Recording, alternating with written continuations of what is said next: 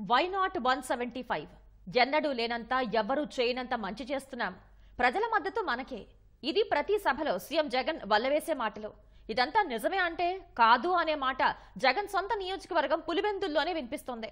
సొంత ఇలాకాలో భర్తకు మద్దతుగా ప్రచారం చేస్తూ ఎన్నడూ లేని విధంగా ఇంటింటికి తిరుగుతున్న వైఎస్ భారతికి ఎదురవుతున్న ప్రశ్నలు నిలదీతలు సమస్యల పరంపరలే ఇందుకు ప్రత్యక్ష నిదర్శనం.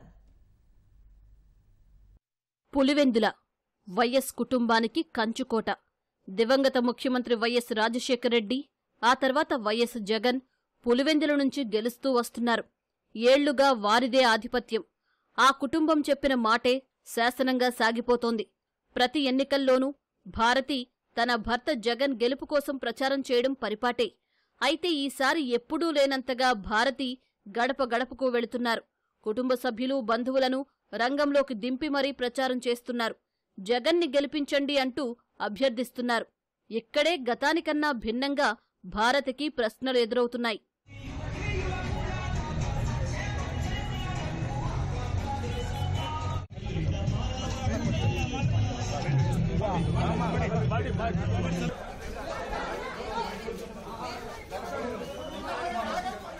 గత నెల ఇరవై తొమ్మిదిన ప్రచారంలో భాగంగా వేంపల్లె మండలం కొమురంపల్లిలో ప్రచారం నిర్వహిస్తున్న భారతికి వైకాపా నాయకుల నుంచే చేదు అనుభవం ఎదురైంది.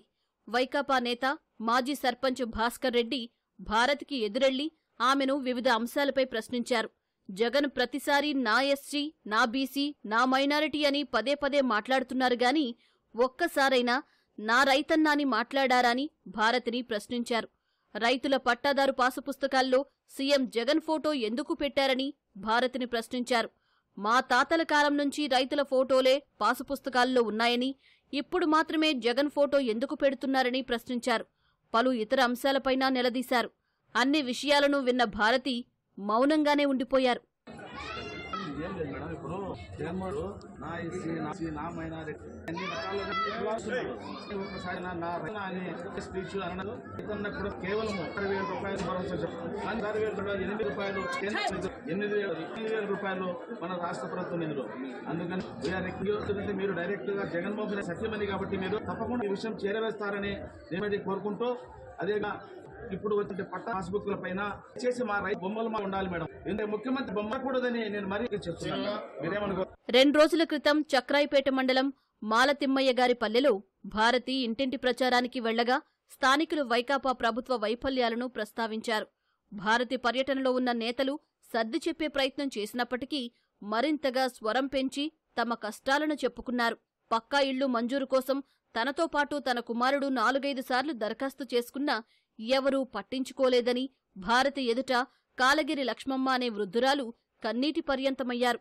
ఈసారికి ఓటై చేస్తామంటూ నేతలు సర్దు చెప్పే ప్రయత్నం చేశారు. అయినా ఆమె తన సమస్యను చెబుతూ ఉండటంతో వారు గట్టిగా మాట్లాడారు. దీంతో భారతి జోక్యం చేసుకుని పింఛన్ వస్తోందా అవ్వా అంటూ ఆమెను శాంతపరిచే ప్రయత్నం చేశారు.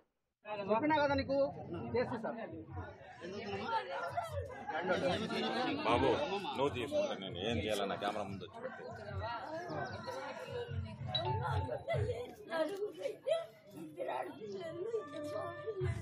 వచ్చి పెట్టి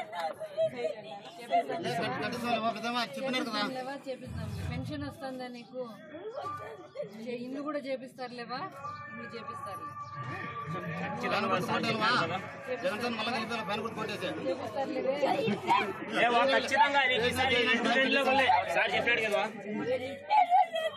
నీకు మెయిన్ రోడ్ మీద మంచి ఇల్లు ఖరీదైన ఇల్లు కట్టిస్తున్నాము. ఇక్కడ అడ్డం పడినాడు మా అన్న. లోకల్గా.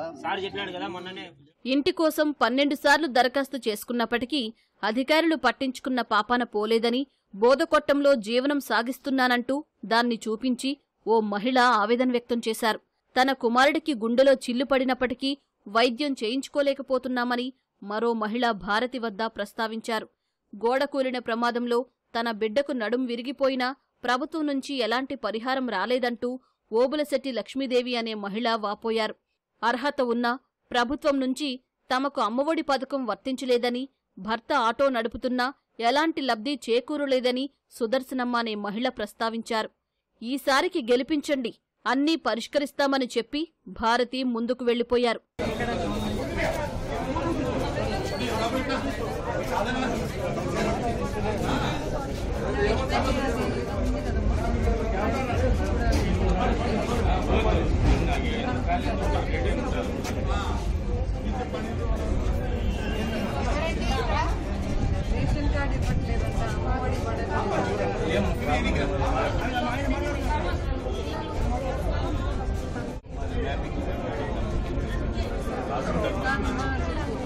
It's because in the normal way, guidelines,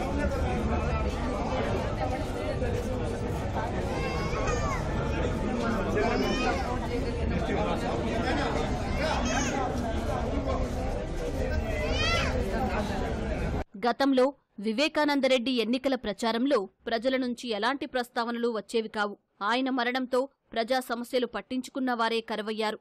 CM Jagan వచ్చినా సొంత నియోజకవర్గంలోనూ పరదాల చాటున కార్యక్రమాలు జరుగుతున్నాయి. ఎవరైనా ఆయనను కలవాలంటే ముందస్తుగా పాసులు తీసుకోవాల్సిన పరిస్థితి. పాసులు పొందడం అంత సులువు కాదు. వివేక హత్య జిల్లాతో పాటు నియోజకవర్గంలోని ప్రజలు గుర్తు చేసుకుంటున్నారు. సీబీఐ విచారణ ఛార్జిషీటు ద్వారా వాస్తవాలు వెలుగులోకి రావడంతో జనంలో పెద్ద చర్చ జరుగుతోంది. జగన్ సోదరి షర్మిల సైతం వివేక హత్య అజెండాపైనే కాంగ్రెస్ పార్టీ తరపున రంగంలోకి దిగారు. వివేక కుమార్తె సునీత గ్రామ గ్రామాన తిరుగుతూ ప్రజాకోర్టులో న్యాయం కావాలని వేడుకుంటున్నారు.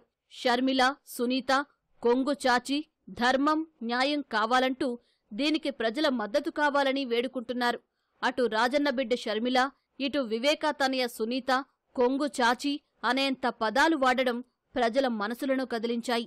ఈ పరిణామాల క్రమంలో జగన్ కుటుంబం ఎన్నికలపై మరింత జాగ్రత్త పడుతున్నట్లు పరిస్థితులు కనిపిస్తున్నాయి.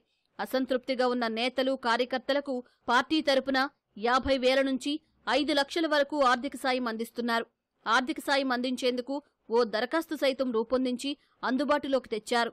భారతీ పర్యటనలో పోలీసులు అనుచరులు నిలదీతలు తగ్గించడానికి ఓవైపు కృషి చేస్తూ ఉండగా నియోజకవర్గంలో పరిణామాలను పరిశీలించడానికి ప్రత్యేక బృందాన్ని రంగంలోకి దింపారు. పోస్టల్ బ్యాలెట్ ఓట్లపైన ప్రత్యేక దృష్టి పెట్టి అవసరమైన చోట్ల డబ్బుల పంపిణీకి సిద్ధమైన తాయిలాలను తిరస్కరించడం వైకాపా వర్గాలు జీర్ణించుకోలేకపోతున్నాయి. ఈ నేపథ్యంలో ఈ పరిణామాలన్నీ ఎటు దారి తీస్తాయోనన్న ఆందోళన జగన్ కుటుంబంలో నెలకొంది.